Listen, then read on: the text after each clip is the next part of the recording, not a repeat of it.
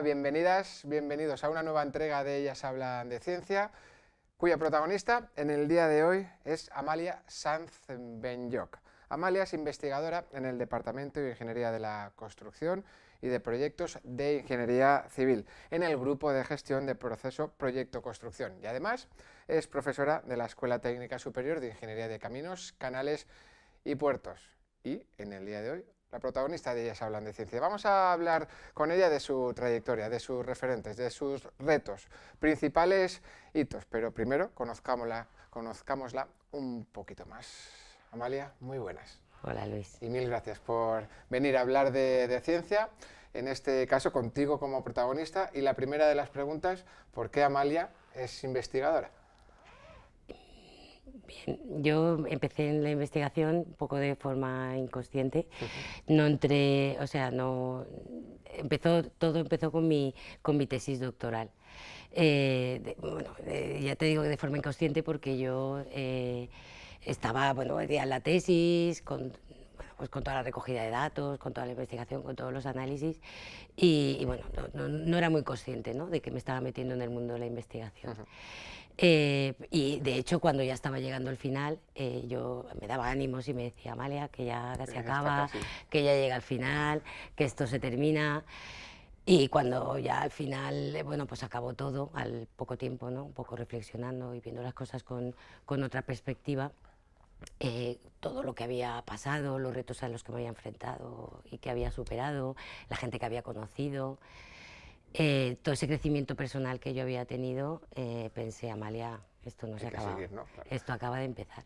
¿Y cómo empieza todavía más hacia, hacia atrás? ¿Dónde tienes ese gusanillo de las ciencias, de, de este va a ser mi, mi camino?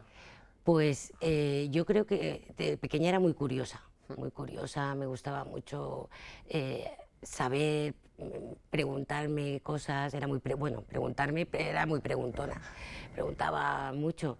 Y yo creo que esa curiosidad desde pequeña, mm, ah, bueno, eh, ha hecho que al final, eh, pues en cuanto he tenido la oportunidad, ¿Te dediques a ello? me dediqué a ello, sí. ¿Y por qué en el campo concreto de la ingeniería civil?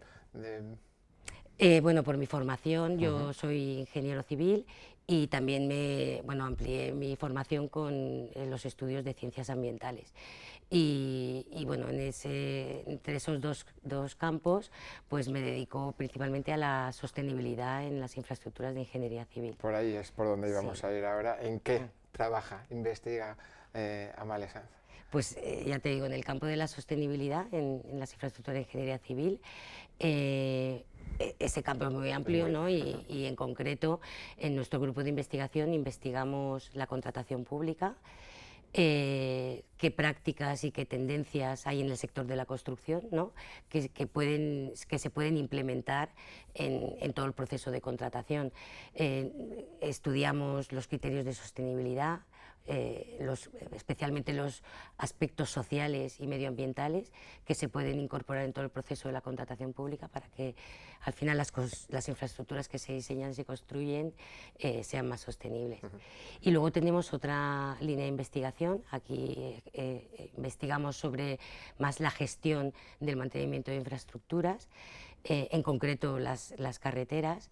Y mm, aquí estudiamos, investigamos modelos eh, predictivos y de planificación en, en la gestión del mantenimiento en concreto de, de infraestructuras de carretera. Para Eh, saber cómo va a evolucionar. Eso es, Para para, prever y evitar. pa- sobre todo para, o sea, prever cómo evoluciona ese deterioro y determinar el momento óptimo En el que hay que en intervenir. el que hay que intervenir, de manera que sea más eh, Seguro. bueno, seguro, se produzcan menos costes y menos impacto para el usuario. O sea, es decir, que al final el proceso sea más sostenible y la infraestructura más sostenible. En esa trayectoria, Amalia, eh, investigando en lo que trabajáis eh, eh, actualmente, si echas la vista atrás, ¿con qué momento te quedas hasta ahora? Hoy me quedo con dos, con dos momentos. Uno, al principio, el día de, de la defensa de mi tesis doctoral. Eh, ese día, bueno, el, salón de actos de, la Escuela de Caminos estaba a tope. De hecho, uno de los miembros del tribunal comentó en el momento de la defensa que nunca había visto a tanta gente en, el, en, un acto de defensa de tesis doctoral. Allí estaba mi familia, mi marido, mis compañeros del departamento, de la unidad docente, eh, mis compañeros Ignacio Andrés y Esther Gómez, que habían sufrido ahí todos mis, mis ensayos y mi parte final de la, de la tesis. Y yo ese día estaba muy feliz y sobre todo porque lo podía compartir y, lo podía celebrar con, con, todas las personas que quería. Yo creo que es muy importante en, en la investigación. Rodearte de ese equipo. Rodearte y sobre todo también eh, cuando consigues algo, celebrarlo. Ese es un momento. ¿El otro?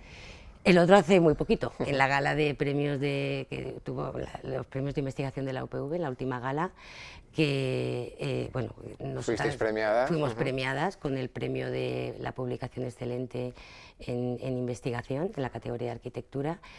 Y bueno, fue un momento muy bonito porque nos llevamos el premio, pero lo bonito yo creo que fue el reconocimiento yo me fui muy contenta a mi casa porque llegaba el premio, pero, pero también me hubiera ido contenta por, porque el reconocimiento, por el reconocimiento y porque creo que es muy importante. Junto con Tatiana, Laura y, Eugenio. ese, premio. Esos son dos eh, momentos, personas, aunque ya has mencionado algunas en tu respuesta anterior, hay algún compañero, algún compañero de, de vida, algún profesor otra persona eh, ajena a tu entorno que sea un referente que te haya marcado? Sí, a mí, bueno, a mí, para mí es un referente todas las personas que no se ponen límites y que, y que eh, no se rinden, son un referente, pero así cercano, em, por la manera de trabajar, eh, de trabajar en equipo, por estar al día, por valorar el trabajo, para mí han sido y son un referente mis dos directores de tesis. Uno es Eugenio Pellicer, que es amigo y compañero y profesor aquí de la Universidad Politécnica de Valencia, y Kid Molinar, profesor de la Universidad de Colorado en Boulder, que tuve la suerte que tenía un año sabático y, bueno, pues pude aprender mucho de él durante, durante el año que estuvo aquí y estaba dirigiendo mi tesis doctoral. Y, los dos son muy buenos investigadores, pero lo mejor es que son muy buenas personas. Y también son un referente para mí mis compañeras, Laura Montalbán y Tatiana, García. Son dos luchadoras que no se rinden y que no se ponen límites. Decíamos que si en muchos ámbitos eh, el rodearse de un buen equipo es importante, quizá en el de la investigación es clave para, permíteme no desfallecer, Sí, es clave, es clave. Eh, el estar rodeado de personas, eh, bueno, pues que eso, que actúan con ética, que, que son honestas, que valoran tu trabajo, eh, que te acompañan día a día, pues es, es fundamental. Pongámonos, vamos a un instituto de secundaria, a unas clases de secundaria o de, o de bachiller. Eh, hacer divulgación, hablar de la importancia de, la, ciencia. ¿Qué mensaje les trasladarías a, esas niñas, niños, chavales, chavalas que, están en esas aulas sobre lo importante que es para su día a día y el de cualquiera de nosotros la, ciencia y la tecnología? Pues les diría que si son curiosos, ¿no? Y si les gusta aprender, si eh, si tienen esa sensación de, querer hacer cosas por los demás, ayudar o hacer la vida más fácil a los demás, eh, o que vivamos en un mundo mejor, creo que, a partir de a través de la investigación y de la ciencia eh, es un camino muy, muy interesante. para... ¿La ciencia es para todos y para todas, Amalia? Sí, yo creo que ¿Entiende de género? ¿Hay estereotipos que todavía marcan que entiendan, que parece que entendan de género? No.